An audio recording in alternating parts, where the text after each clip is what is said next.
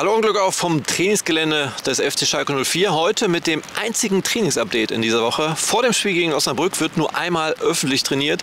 Ansonsten alles hinter äh, verschlossener Schranke. Zu wichtig das Spiel am Freitagabend gegen den VfL Osnabrück.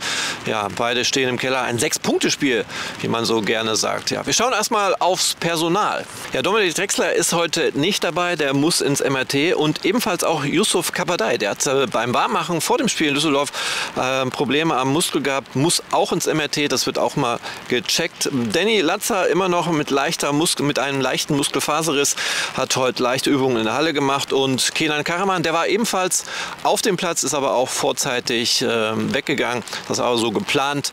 Ja, auch er ist etwas angeschlagen. Ansonsten, ja, kennen wir ja Thomas Ovejan, trainiert bei der U23, wird am Freitag an auch keine Rolle spielen. Sind dann alle an Bord. Ja, aber zwei waren von der U23 heute dabei. Längst gefordert fordert äh, Steven van der Sloot und auch Jimmy Kaparos. Die haben heute bei den Profis mittrainiert. Äh, bin sehr gespannt, ob die dann vielleicht am Freitag eine Rolle spielen. Ja, die Situation auf Schalke, äh, man sieht selbst, heute waren beim Training nicht mal eine Handvoll Fans da. Das kann natürlich auch am Wetter liegen.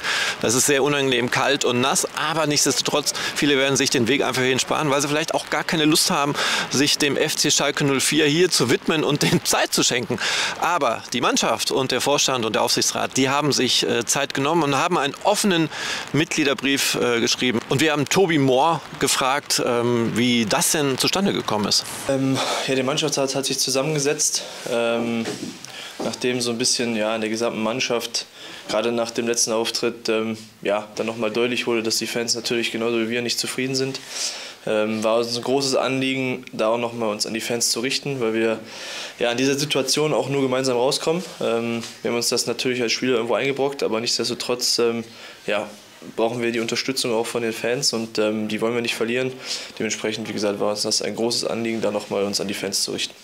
Ja, Wiedergutmachung ist angesagt und die Bitte an die Fans doch dann doch zu supporten. Das ist schon extrem wichtig. Ich glaube, auch wenn im Stadion dann kein Support ist, gerade bei so einem wichtigen Spiel, das könnte auch nach hinten losgehen und das will, glaube ich, kein Fan.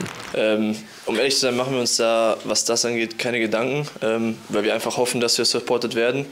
Ähm, wenn nicht, wissen wir auch, dass wir uns da selber äh, eingebrockt haben und das Ganze auch selber wieder ausbrocken möchten. Ähm, dementsprechend wollen wir auf dem Platz Gas geben und dann uns den Support, sollte er nicht da sein, wiederholen.